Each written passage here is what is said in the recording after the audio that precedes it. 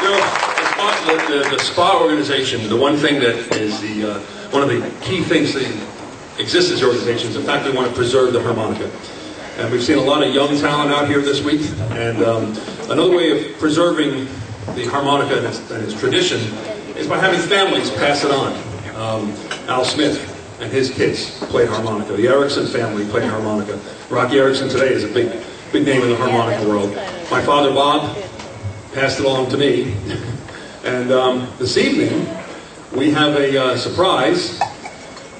Uh, I think we have a surprise. That's the surprise. That's the surprise. We don't have one.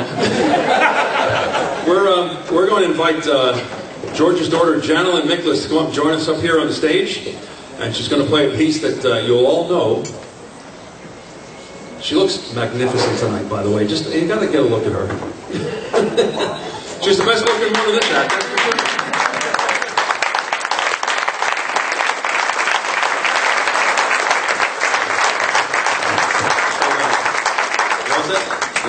Okay, here we go, folks. Uh, this is uh, George Miklas. He's going to start off the chord solo to the tune that made the Harmonicats what we all know and love them to be. Recorded 1947. Ladies and gentlemen, here's Peg O' My Heart.